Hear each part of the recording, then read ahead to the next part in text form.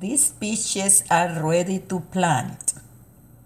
This is the easy way to do it. You just get the, the seeds after you eat your peach and put the, or your peaches, because I like to eat a lot of peaches. I love fruits. And you just get the seeds and you, you clean them with water and you put them in a plastic bag like this and with a zipper and leave them in the refrigerator for about seven weeks or, or 12 or more if you want. Anyway, and they are ready. The only thing that they come by itself. They come out by itself.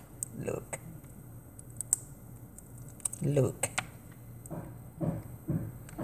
And the only thing that you need now is to put them in a put them in a refrigerator in, in a pot or just plant them straight on the on the ground. Look.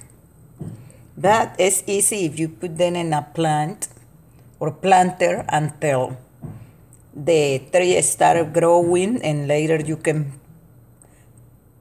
plant this on the ground.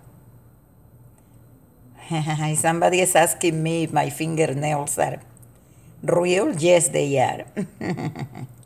okay. Besitos, kisses for everybody, and hugs.